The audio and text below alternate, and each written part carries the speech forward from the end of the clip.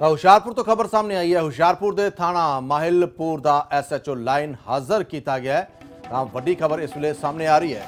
ਤਾਂ ਹੁਸ਼ਿਆਰਪੁਰ ਦੇ ਥਾਣਾ ਮਾਹਿਲਪੁਰ ਦਾ ਐਸਐਚਓ ਲਾਈਨ ਹਾਜ਼ਰ ਕਰ ਦਿੱਤਾ ਗਿਆ। ਰਿਸ਼ਵਤ ਲੈਂਦੇ ਹੋਏ ਐਸਐਚਓ ਦਾ ਇੱਕ ਵੀਡੀਓ ਸਾਹਮਣੇ ਆਇਆ ਸੀ ਔਰ ਇਹ ਵੀਡੀਓ ਸੋਸ਼ਲ ਮੀਡੀਆ ਦੇ ਉੱਤੇ ਕਾਫੀ ਵਾਇਰਲ ਹੋਇਆ ਸੀ। ਤਸਵੀਰਾਂ ਤੁਸੀਂ ਦੇਖ ਸਕਦੇ ਹੋ ਕਿ ਇਸ ਵੀਡੀਓ ਦੇ ਵਿੱਚ ਐਸਐਚਓ ਨਜ਼ਰ ਆ ਰਿਹਾ ਹੈ। ਔਰ ਇੱਥੇ ਸਾਹਮਣੇ ਇੱਕ ਸ਼ਖਸ 5-500 ਦੇ ਨੋਟ ਹੱਥ ਦੇ ਵਿੱਚ ਫੜ ਕੇ ਉਸ ਦੀ ਵੀਡੀਓ ਵੀ ਬਣਾਉਂਦਾ ਹੋਇਆ ਨਜ਼ਰ ਆ ਰਿਹਾ। ਹਾਲਾਂਕਿ ਪੰਜਾਬ ਸਰਕਾਰ ਨੇ ਕਿਹਾ ਹੋਇਆ ਕਿ ਅਸੀਂ ਭ੍ਰਿਸ਼ਟਾਚਾਰ ਬਿਲਕੁਲ ਵੀ ਬਰਦਾਸ਼ਤ ਨਹੀਂ ਕਰਾਂਗੇ।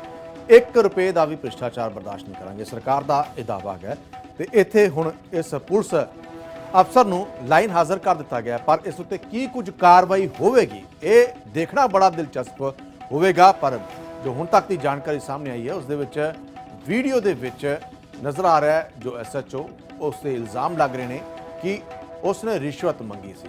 ਤਾਂ ਵੀਡੀਓ ਸੋਸ਼ਲ ਮੀਡੀਆ ਉੱਤੇ ਵਾਇਰਲ ਹੋ ਰਿਹਾ ਕਾਫੀ, ਇਸ ਤੋਂ ਬਾਅਦ ਲਾਈਨ ਹਾਜ਼ਰ ਇਸ ਐਸਐਚਓ ਨੂੰ ਕਰ ਦਿੱਤਾ ਗਿਆ।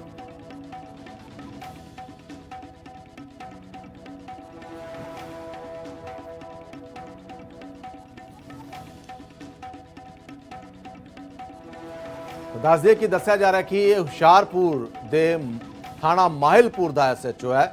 ਤੇ ਐਸਐਚਓ ਨੂੰ ਲਾਈਨ ਹਾਜ਼ਰ ਕੀਤਾ ਗਿਆ ਰਿਸ਼ਵਤ ਲੈਣ ਦੇ ਦੋਸ਼ਾਂ ਦੇ ਵਿੱਚ ਲਾਈਨ ਹਾਜ਼ਰ ਉਹਨਾਂ ਨੂੰ ਕੀਤਾ ਗਿਆ ਵੀਡੀਓ ਵਾਇਰਲ ਹੋਣ ਤੋਂ ਬਾਅਦ ਮਾਮਲਾ ਪੱਕਦਾ ਹੋਇਆ ਨਜ਼ਰ ਆ ਰਿਹਾ ਸੋਸ਼ਲ ਮੀਡੀਆ ਦੇ ਉੱਤੇ ਵੀਡੀਓ ਵਾਇਰਲ ਹੋਈ ਸੀ, ਜਿਸ ਤੋਂ ਬਾਅਦ ਐਸਐਚਓ ਨੂੰ ਲਾਈਨ ਹਾਜ਼ਰ ਕਰ ਦਿੱਤਾ ਗਿਆ ਇਸ ਵੀਡੀਓ ਦੇ ਵਿੱਚ ਨਜ਼ਰ ਆ ਰਿਹਾ ਕਿ ਇੱਕ ਸ਼ਖਸ 5-500 ਦੇ ਨੋਟ ਦਿੰਦਾ ਹੋਇਆ ਐਸਐਚਓ ਨੂੰ ਨਜ਼ਰ ਆ ਰਿਹਾ ਹੈ। ਕਿਸੇ ਮਾਮਲੇ ਦੇ ਵਿੱਚ ਐਸਐਚਓ ਰਿਸ਼ਵਤ ਦੀ ਮੰਗ ਕਰ ਰਿਹਾ ਸੀ।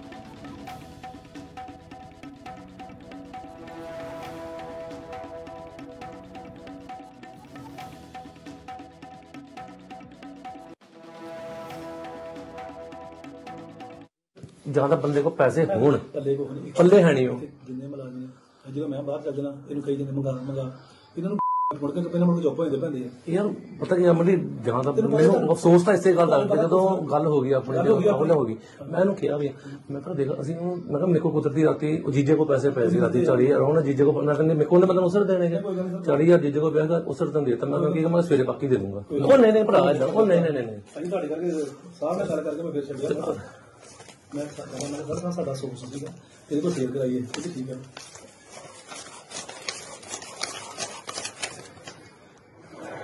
ਹਾਲ ਪਰ ਹੁਣ ਹਜ਼ਾਰ ਦਾ ਮੇਰੀ ਜੇਬ ਚ ਰਹਿੰਦੇ ਲੈ ਲਓ ਨਹੀਂ ਨਹੀਂ ਮੈਂ ਮੈਂ ਬਟੂਆ ਮੇਰਾ ਖਾਲੀ ਹੋਇਆ ਸਾਰਾ। ਲੈ ਉਹ ਨਹੀਂ ਨਹੀਂ ਨਹੀਂ ਮੈਂ ਕੋ ਆਹੀ ਆ ਮੈਂ ਪੜਾ ਕੇ ਫਿਰ ਪਤਾ ਕੀ ਗੱਲ ਆ ਚਲੋ ਬੰਦੇ ਦਾ ਕੰਮ ਹੋ ਜਾਂਦਾ ਬੰਦੇ ਨੂੰ ਇਹ ਹੁੰਦਾ ਮਹਿਸੂਸ ਨਹੀਂ ਹੁੰਦਾ। ਜਦੋਂ ਬੰਦੇ ਨੂੰ ਇਹ ਹੋਏ ਕਿ ਪੈਸੇ ਵੀ ਦੇ ਦਿੰਦੇ ਆ ਬੰਦਾ ਕਹਿੰਦਾ ਯਾਰ ਮੈਂ ਨਾ ਉਹ ਕਰਾਂ ਉਹ ਕਹੀ ਜਾਂਦਾ ਪਿਆ ਤੇ ਪੁੱਛਣ ਲੱਖ ਰੁਪਏ ਮੰਗਾਉਣ ਡਿਆ ਮੈਂ ਇਦਾਂ ਕਰ ਲੋ ਇਦਾਂ ਕਰ ਲੋ ਇਹੀ ਬੰਦਾ ਜਿਹਨੂੰ ਛੱਡਣ ਲੱਗਾ। ਜਿਹਨੇ ਕਰੇਗਾ ਮੱਲੀ ਇਸ ਜਾਂ ਤਾਂ ਬੰਦੇ ਕੋਲ ਪੈਸੇ ਹੋਣ। ਪੱਲੇ ਕੋ ਪੱਲੇ ਹੈ ਨਹੀਂ ਉਹ। ਜਿੰਨੇ ਮੁਲਾਜ਼ਮ ਜਦੋਂ ਮੈਂ ਬਾਹਰ ਚੱਲ ਜਾਣਾ ਇਹਨੂੰ ਕਈ ਜਣੇ ਮੰਗਾ।